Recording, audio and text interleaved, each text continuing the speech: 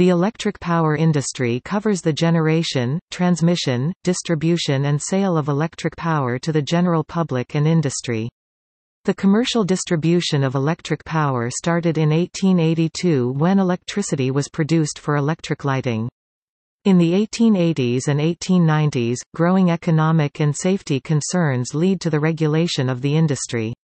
Once an expensive novelty limited to the most densely populated areas, reliable and economical electric power has become an essential aspect for normal operation of all elements of developed economies. By the middle of the 20th century, electricity was seen as a natural monopoly only efficient if a restricted number of organizations participated in the market. In some areas, vertically integrated companies provide all stages from generation to retail, and only governmental supervision regulated the rate of return and cost structure. Since the 1990s, many regions have opened up the generation and distribution of electric power to provide a more competitive electricity market. While such markets can be abusively manipulated with consequent adverse price and reliability impact to consumers, generally competitive production of electrical energy leads to worthwhile improvements in efficiency. However, transmission and distribution are harder problems since returns on investment are not as easy to find.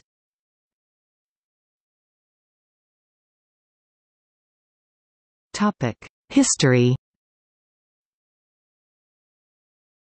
Although electricity had been known to be produced as a result of the chemical reactions that take place in an electrolytic cell since Alessandro Volta developed the voltaic pile in 1800, its production by this means was, and still is, expensive.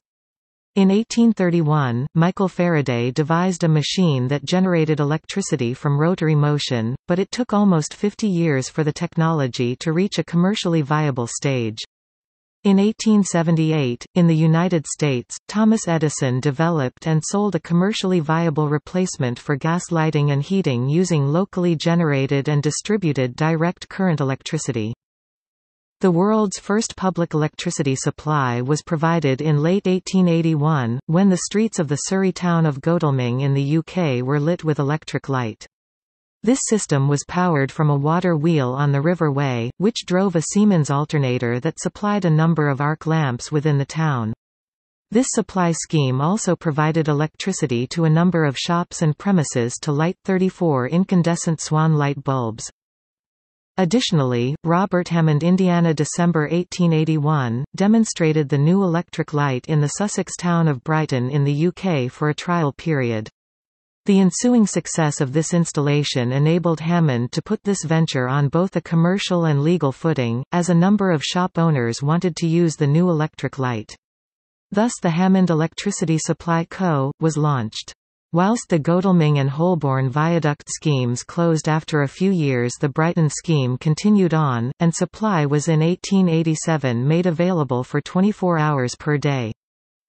In early 1882, Edison opened the world's first steam-powered electricity generating station at Holborn Viaduct in London, where he had entered into an agreement with the City Corporation for a period of three months to provide street lighting.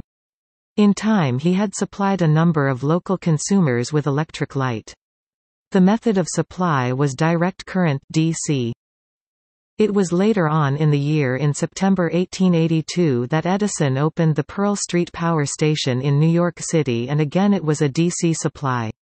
It was for this reason that the generation was close to or on the consumer's premises as Edison had no means of voltage conversion. The voltage chosen for any electrical system is a compromise.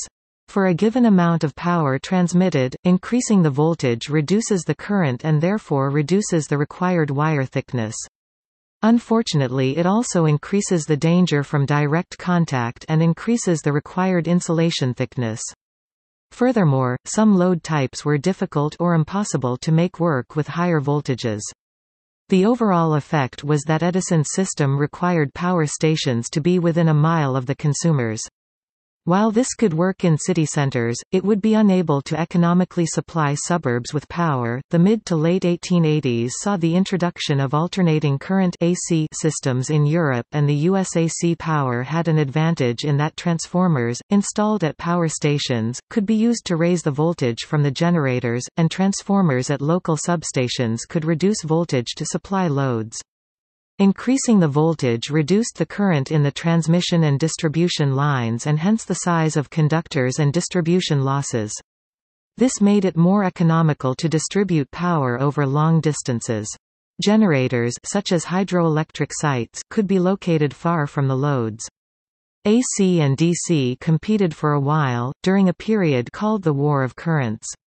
The DC system was able to claim slightly greater safety, but this difference was not great enough to overwhelm the enormous technical and economic advantages of alternating current which eventually won out. The AC power system used today developed rapidly, backed by industrialists such as George Westinghouse with Mikhail Dolivo Dobrovolsky, Galileo Ferraris, Sebastian Ziani de Ferranti, Lucian Gaulard, John Dixon Gibbs, Carl Wilhelm Siemens, William Stanley Jr., Nikola Tesla, and others contributed to this field. While high-voltage direct current HVDC is increasingly being used to transmit large quantities of electricity over long distances or to connect adjacent asynchronous power systems, the bulk of electricity generation, transmission, distribution and retailing takes place using alternating current.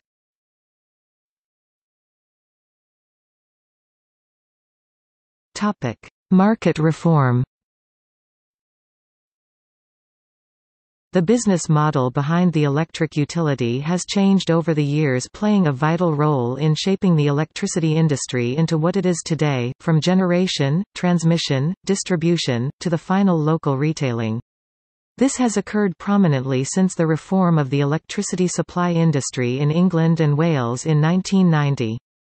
In some countries, wholesale electricity markets operate, with generators and retailers trading electricity in a similar manner to shares and currency.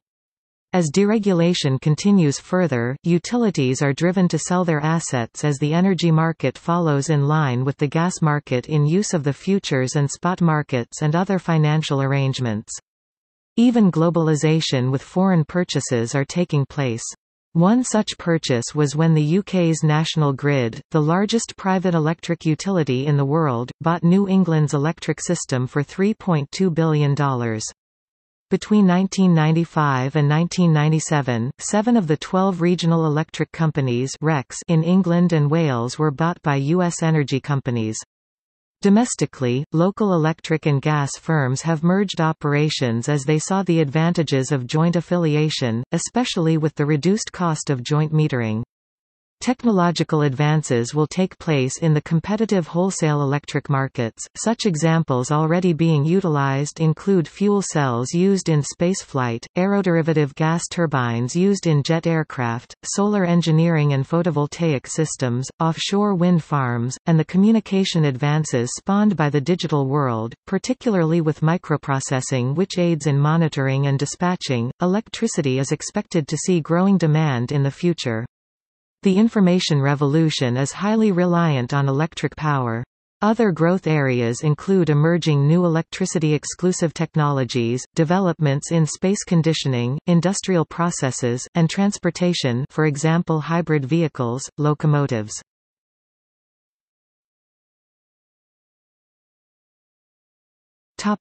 Organization The electric power industry is commonly split up into four processes. These are electricity generation such as a power station, electric power transmission, electricity distribution and electricity retailing. In many countries, electric power companies own the whole infrastructure from generating stations to transmission and distribution infrastructure. For this reason, electric power is viewed as a natural monopoly. The industry is generally heavily regulated, often with price controls and is frequently government-owned and operated. However, the modern trend has been growing deregulation in at least the latter two processes. The nature and state of market reform of the electricity market often determines whether electric companies are able to be involved in just some of these processes without having to own the entire infrastructure, or citizens choose which components of infrastructure to patronize. In countries where electricity provision is deregulated, end users of electricity may opt for more costly green electricity.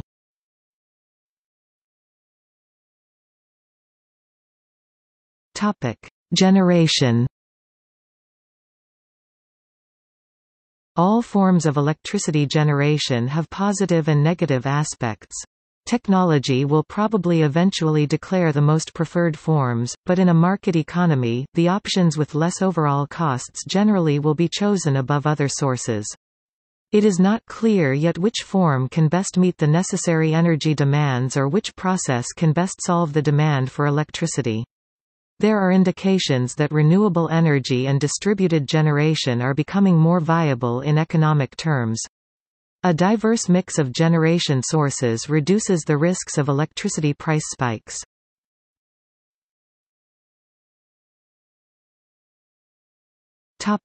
World electricity industries The organization of the electrical sector of a country or region varies depending on the economic system of the country. In some places, all electric power generation, transmission and distribution is provided by a government-controlled organization. Other regions have private or investor-owned utility companies, city or municipally owned companies, cooperative companies owned by their own customers, or combinations. Generation, transmission and distribution may be offered by a single company, or different organizations may provide each of these portions of the system. See also